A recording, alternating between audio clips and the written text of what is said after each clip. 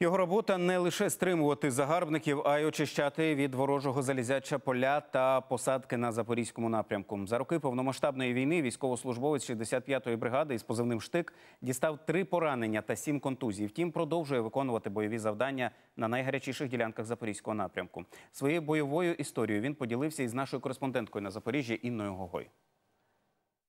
Це моя робота, і ніхто її за мене не зробить. Ніхто.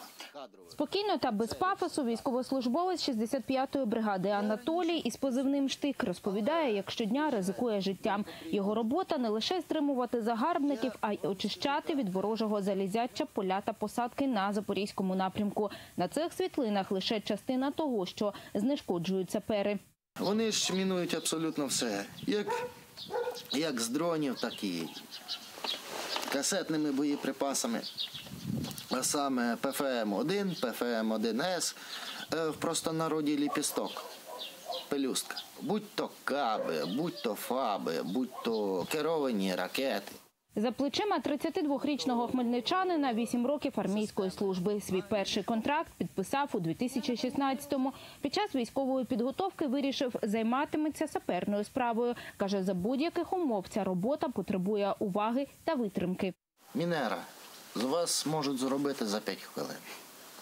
А от сапер йому треба подумати. Як що зробити, аби самому не підірватися. У мене принцип. Знаєш, що то таке, не бери. Не знаєш двічі не бери. Нас так навчили. Разом з побратимами з 65-ї бригади Анатолій воює на запорізькому напрямку майже від початку повномасштабної війни. Бойові завдання виконує на найгарячіших ділянках фронту. І це не лише розмінування територій. Штик не раз виводив бійців на позиції та евакуйовував поранених і загиблих. Якщо це 200 то хоча б, щоб батьки рідні, щоб могли би хоч щось поховати. Повернути додому бійця.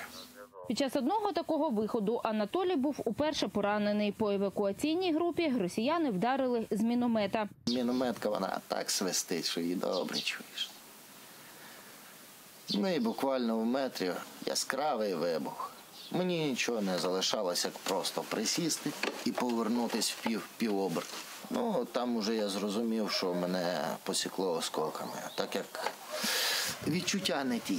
Коли потягнувся за шию, за голову, за, за потилицю, є кров.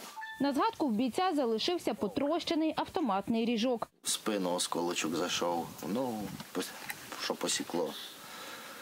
Зайшов сюди. Магазин був прищебнутий до автомату. Потім були ще два поранення від російських дронів. На цій війні штик дістав сім контузій і не раз дивився в очі смерті.